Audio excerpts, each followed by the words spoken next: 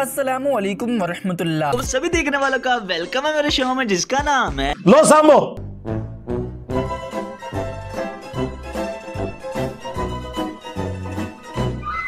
जो बच्चे जो नौजवान गलती से दूसरे फिरकों में चले गए जो नबी पे एतराज़ करते हैं वो हमारे बच्चे हैं मैं उनको चढ़ाता नहीं हूँ। मेरे प्यारे इधर आओ। कल जुम्मा है नहा लेना। आप में गलती से उनकी तरफ़ गए हो आप निकलो इनके चुंगल से। ना। समझो।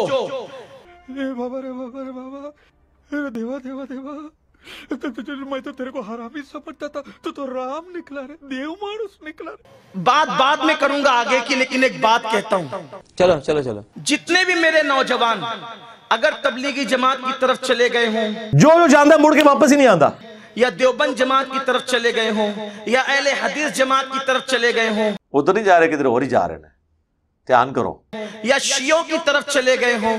अगर उनको ऐसा लगता है कि हम सही जगह गए मैं बातें बाद में करूँगा। तो रहन दो फिर। आगे मैं सिर्फ़ एक बात करता हूँ आप उनके कितने ही बड़े मौलवी को लेकर के आओ और फिर आपसे कहता हूँ कि आप हजरात उनसे कहना वो अपने सर पे कुरान रखे। मैं तुम्हारे बाप का नौकर नहीं हूँ। और हम अपने सर पे कुरान रखें। और उसके बाद जो है अल्लाह अकबर जहर का प्याला।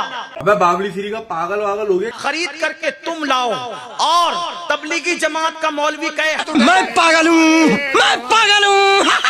हम हक पर हैं। वो अपने पूरे अकीदे पड़े वो कहे तबलीगी जमात हक पर वो कहे शिया हक पर वो कहे वहाबी हक पर।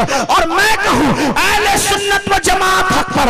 और फिर दोनों मिलकर जहर का प्याला पी ले। जो बचेगा वही सच्चा होगा।